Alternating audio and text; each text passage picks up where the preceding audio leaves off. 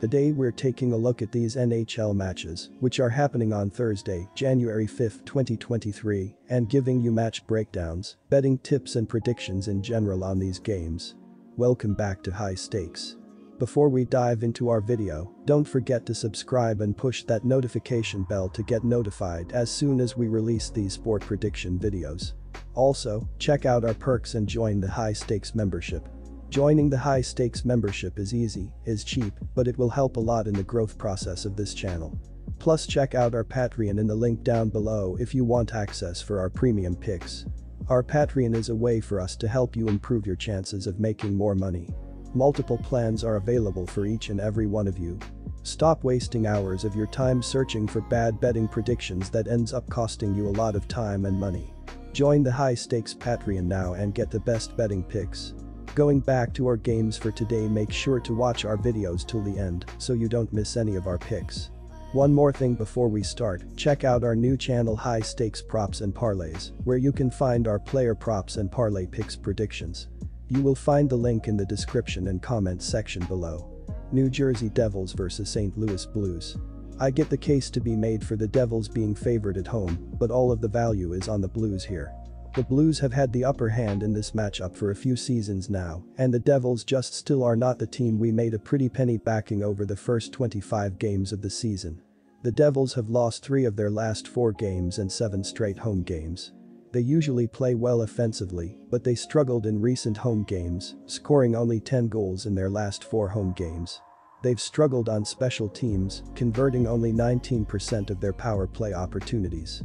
Even though the Blues aren't very good defensively they played better in recent road games, and they are well rested playing a team that is playing on consecutive nights, so don't expect them to have a hard time slowing down the Devils.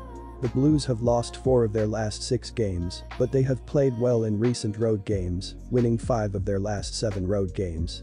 They are very good offensively and scored at least four goals in five of their last six road games. They've also played well on special teams, converting 23% of their power play opportunities. The Devils have one of the best defenses in the league, but they have struggled during their slump, giving up at least 4 goals in 4 of their last 6 home games, so expect them to have a hard time slowing down the Blues. Our team pick is St. Louis to cover the money line. The St. Louis Blues will be out to build on a 6-5 shootout win over Toronto in their last game. Robert Thomas has 34 points with 8 goals and 26 assists. Jordan Kyrou has 37 points split between 18 goals and 19 assists, and Brayden Schenn has 29 points with 8 goals and 21 assists. Pavel Buchnevich also has 29 points with 17 assists, and Vladimir Tarasenko has 29 points with 10 goals and 19 assists this season. Jordan Binnington's seen the action in goal for St. Louis up to this point in the season, with a record of 14-12-3, along with a 3.21 GA and a .893 save percentage this season. The New Jersey Devils will try to add to a 5-1 win over Detroit last time out. Jack Hughes leads the Devils in scoring with 44 points, including a team-high 22 goals and 22 assists, while Jesper Bratt also has 38 points, with a team-high 24 assists. Nico Hischier also has 36 points with 17 goals and 19 assists this season. Vitek Vanecek is 14-5-2 with a 2.31 GA and a .914 save percentage, while Akira Schmid has gone 5-3 with a 1.96 GA and a .932 save percentage of his own this season. I'm expecting a lot of goals in this game tonight.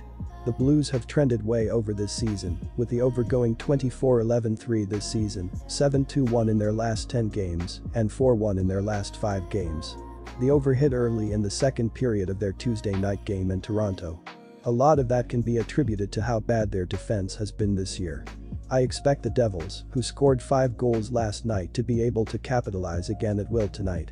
Additionally, with the Devils in the second half of a back-to-back, they're starting their backup goaltender tonight, who might expect to give up 2 to 3 goals to the Blues, who have shown at times that they're capable to score. Both goalies in this game have a sub .900 GAA and above a 3.00 GAA. They'll give up goals. Our total pick is over 6.5 goals.